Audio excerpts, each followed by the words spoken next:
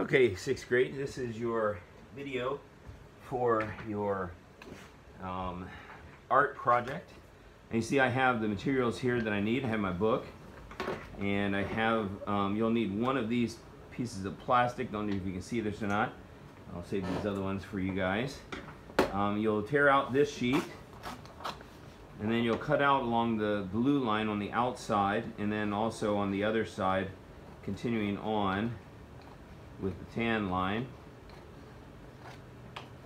And you cut this out completely so that it is basically a perfect fold um, once you get it done. Now, three things that I grade you on in art. One is following the directions. Um, that is the second most important thing. It's 30 points for following the directions, and it is uh, 40 points just for completing the project. So if you do it, no matter how it looks, no matter how it comes out, you're still going to get 40 points. That may not be enough for you. But even if you do the other ones, you usually people don't not follow the directions completely. They may follow little bits and pieces or have bits and pieces they don't follow.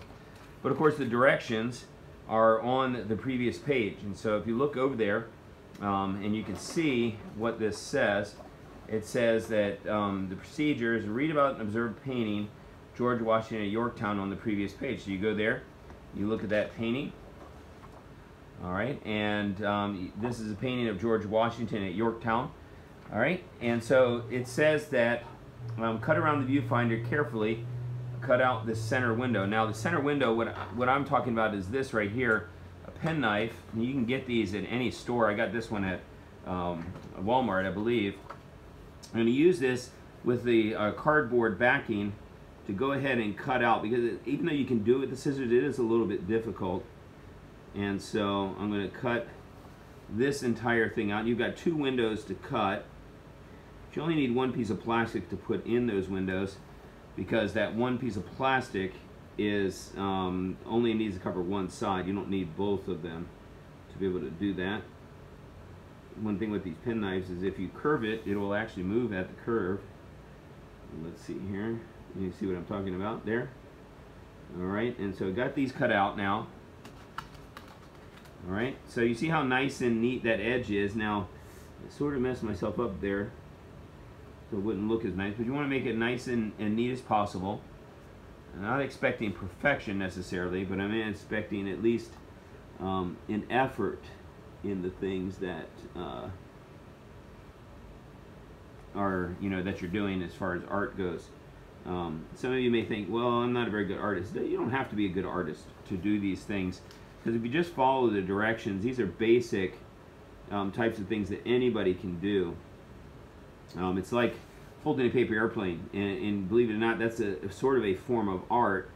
Um, you've heard of origami, but um, this right here, all right, so now I've gotten both sides cut out um, so that I can then go ahead and do my next part. Now, again, following the directions, says fold viewfinder in half to dotted line. Now notice how they have it folded so that this is the inside part. All right, now um, trying to figure out, looks like they would have it like this originally, then they have it folded like this. So I'm gonna fold it this way, right on the dotted line, as best as I possibly can. I don't fold it completely until I got it pretty much straight, and then I'll squeeze it together to get that dotted line just right. Now, see how it overlaps? So I'm gonna go ahead and squeeze it down a little bit just to get it so that it fits a little bit better on that, on the windows fit on each other a little bit better. And so you could even take your penknife then, if you wanted to, and you can um, even those windows out a little bit so it looks a little bit better. I see this is anything, this is something anybody can do. You just have to be careful with the penknife um, not to get into the area where you're cutting. I mean, we're, you know, cutting on that outside window. So you can see here now, that improved uh, that part right there. And this part right here. Now it looks a lot better, okay? So I have this set up still like this, and it says here to tape my plastic onto this part. Now I'm going to go ahead and do that. I'll get some tape.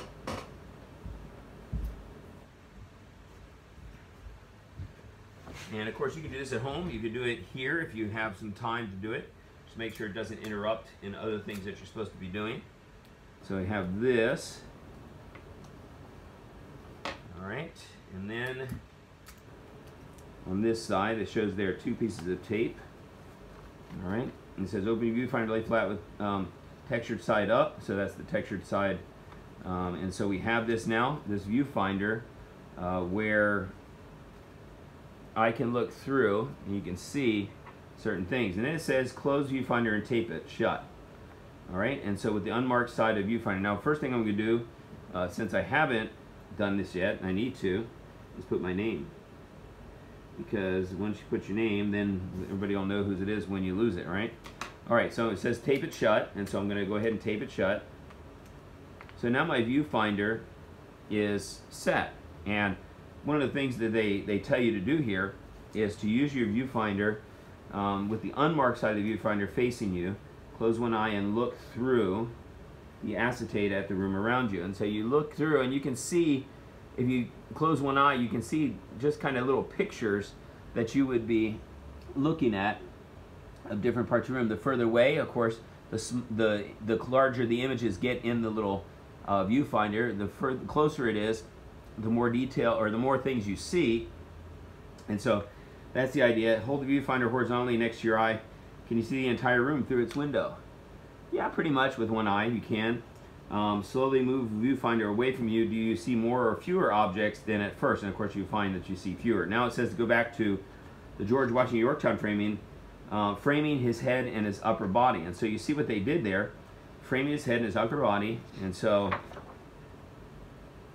we can look and I can see his head and his upper body. And so now, in fact, you can sort of see that, but as, an angle, and I'm trying to see, I don't know what it would be like in the uh, camera, but the further back you get, you can sort of um, fit, fit it in there, is the idea. And that's the whole idea of what this viewfinder does, is it helps you to fit in uh, pictures, and it's going to help you in one particular project later on that you're going to do. And so that's why you need to have that viewfinder. Now make sure you put your name on it, but that's it. That's all you have to do for your thing. I would give myself a, probably a 95. I didn't cut it very cleanly. Um, as you can see, the blue is still there. But, you know, for the most part, you look there and it looks pretty good. Um, helping, I helped myself by cutting out that extra um, part, and I did everything the way I'm supposed to. So the way it would work would be this. I get 40 points for completing the project. 30 points for following directions. They did follow directions. And the last one, the last 30 points is on quality. Now quality depends on how good it looks. Probably on this, I wouldn't take too many points off from you for this. Now, of course, I'm not going to cut this now because I already have the plastic in there, and that would cause me more problems than anything. But maybe when I was, uh, before when I was cutting, I would make sure I'm cutting straight down the middle. One thing that you can do is use a straight edge. Uh, either a ruler or you know something like this that you can go right along and help you cut straight.